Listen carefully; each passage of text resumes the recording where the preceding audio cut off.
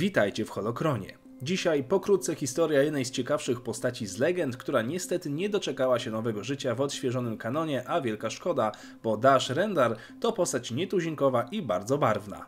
Zapraszam. Dash to Koreańczyk z krwi i kości urodzony w ostatnich latach Republiki Galaktycznej. Rodzice odziedziczyli rodzinny biznes transportowy obsługujący światy środka, Rentrans. Rendar oraz jego starszy brat Stanton mieli więc zapewnione dość wygodne i bezpieczne dzieciństwo. Starszy rodak wybrał je na karierę pilota w rodzinnej firmie, Dash natomiast został rasowym, gwiezdnym poszukiwaczem przygód. A zaczęło się od zaciągnięcia się do Akademii Imperialnej na Karidzie w dziewiątym roku po bitwie o Jawin. Poznał tutaj Poznał tutaj też młodzieńca imieniem Han Solo, z którym miał spotkać się lata później. Dash miał być obiecującym kadetem, a w końcu oficerem, jednakże rodzinna tragedia pokrzyżowała plany. Książę Caesar, którego zapewne znacie z innych odcinków, postanowił przejąć rodzinną firmę na rzecz kartelu Czarnego Słońca. W wyniku sabotażu śmierć poniósł starszy brat Dasha, natomiast rodzice wygnani. Rendar natomiast został usunięty z akademii i również wysłany na banicję. Czarne Słońce, jak i Imperium, miało teraz nowego wroga. Dash od tego momentu stał się rasowym żeglarzem czy też spacerem, czyli osobą prowadzącą swoje życie na statku. Nie zamierzał jednak parać się robotą dla plepsu. Wybierał trudne i ryzykowne zadania gwarantujące niezły zwrot gotówki. Pracował jako przemytnik, ochroniarz, najemnik czy złodziej. Na swojej drodze spotkał masę piratów, łowców nagród imperialnych, a nawet inkwizytorów czy rankory. Nieraz współpracował również z Lando Calrissianem. Niedługo później spotkał się również ze swoim starym druhem Hanem Solo. Podczas pracy dla jednego z pracodawców, niejakiego Lorda Vania o pseudonimie Wujek, Dash wszedł w posiadanie frachtowca YT-2400 o nazwie Outrider. Od tego momentu, podobnie jak Han Solo i jego Sokół, Rendar był kojarzony właśnie ze swoim statkiem. Obaj panowie ostro rywalizowali o bycie tym lepszym przemytnikiem z jeszcze lepszym statkiem, co niejednokrotnie kończyło się pijackimi bójkami. Niedługo później Dash dorobił się własnej załogi, drugiego pilota imieniem Eden Vril oraz droida naprawczego serii LE model BO2D9, którego ochrzcił Libo. Ekipa nieraz ratowała sobie nawzajem tyłki. Dorobili się także drugiego statku o nazwie Outrunner. Kolejne lata Dasha to wręcz gigantyczna ilość przygód, potyczek i nowych znajomości z kultowymi postaciami z uniwersum.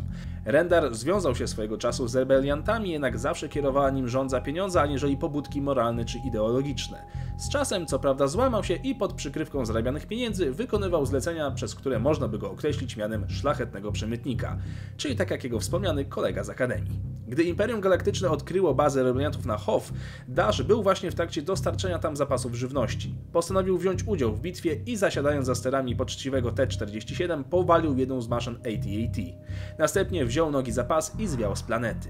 Jednakże stare przyjaźnie nie umierają. Gdy Han Solo spał smacznie w karbonicie, jego ekipa stawała na głowie, by go odzyskać. Lando wystosował prośbę do Dasha o pomoc, na co ten przystał i tak Dash ponownie obrał stronę konfliktu, spotykając na swojej drodze m.in. samego Boba Fetta czy jednego z droidów zabójców IG-88 Model D. Osobista ciekawostka, misja z IG w grze Cienie Imperium śni mi się po dziś dzień po nocach. Jeżeli jesteście ciekawi, dlaczego Mon Mothma wspomina Botan, którzy zginęli starając się wykraść plany drugiej Gwiazdy Śmierci, to życiorys Dasha również zahacza o ten epizod, bowiem brał on udział w akcji zdobycia planów stacji bojowej u boku samego Luka Skywalkera oraz botańskich agentów. Dash wciąż utrzymywał pozycję freelancera i człowieka, który zrobi wszystko za pieniądze, ale mimo wszystko bliżej mu było dla rebelii, aniżeli imperium, z którym wciąż miał na. Dlatego ponownie zdecydował się pomóc rebeliantom podczas infiltracji pałacu księcia Cizora, za którym osobiście, jak wiecie, nie przepadał. W trakcie ucieczki z planety jego statek wydawał się rozbić o kawałek gwiezdnego złomu. Załoga Sokoła Millennium na własne oczy widziała, jak odchodzi ich wieloletni kompan. Nie widzieli jednak, że Dash tuż przed uderzeniem wykonał skok w nadprzestrzeń i ocalił swój tyłek. Dzięki domniemanej śmierci mógł w końcu usunąć się do cienia przynajmniej na jakiś czas. Wiele lat później wydywano go m.in. w kantynie na planecie zwanej Księżycem Herd. Lata mijały, a Dash wciąż uznawany był za martwego. Jednakże pogłoski o nim pojawiały się jeszcze za czasów wojny z Yuzan Wong, w której Dash uczestniczył z ramienia tzw. Tak Brygady Pokojowej. Jeżeli chcecie jeszcze lepiej i dokładniej poznać losy Dasha, to zachęcam Was do przeczytania jednej z najlepszych książek z uniwersum Gwiezdnych Wojen, czyli Cienie Imperium oraz zagranie w grę pod tym samym tytułem.